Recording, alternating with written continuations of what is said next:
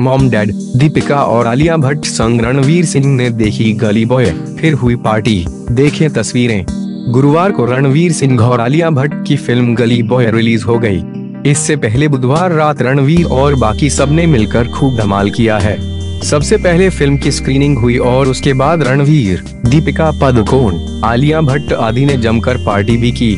जैसा कि आप जानते हैं कि दीपिका पदुकोण से शादी के बाद रणवीर सिंह की यह दूसरी फ़िल्म है। सिम्बा की कामयाबी से उत्साहित रणवीर गली बॉय के लिए बेहद उत्साहित हैं।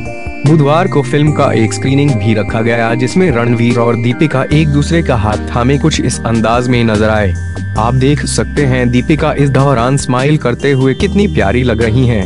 उन्होंने इस मौके पर अपना फेवरेट कलर ब्लैक पहना है, जबकि रणवीर हमेशा की तरह अपने अलग से आउटफिट में नज़र आ रहे हैं स्क्रीनिंग के दौरान रणवीर सिंह के माता पिता भी पहुँचे इस मौके पर रणवीर के डैड जगजीत सिंह भवनानी और मॉम अंजू भवनानी दोनों बेहद खुश और उत्साहित नज़र आए। दीपिका के पिता प्रकाश पादुकोण भी गली बॉय की स्क्रीनिंग के लिए पहुँचे। दीपिका की मॉम भी फ़िल्म देखने पहुँची थी।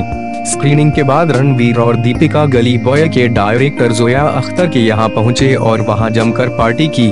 पार्टी के दौरान आलिया भट्ट कुछ इस अंदाज में कैमरे में कैद हुई। आलिया स्क्रीनिंग में भी मौजूद थीं। आमिर खान की पत्नी किरण राव भी इस पार्टी में पहुँची। फरहान अख्तर भी गली बॉय की इस पार्टी में शामिल हुए। फरहान इस फ़िल्म के निर्माता भी हैं। फरहान के अलावा रितेश सिद्धवानी भी फ़िल्म के निर्माता के रूप में जुड़े हैं। रितेश इस मौके पर कुछ इस अंदाज में दिखे। कुल मिलाकर यह दिन रणवीर सिंह और दीपिका पादुकोण के लिए बेहद खास है और इसलिए भी दोनों गली बॉय को सपरिवार एंजॉय कर रहे हैं।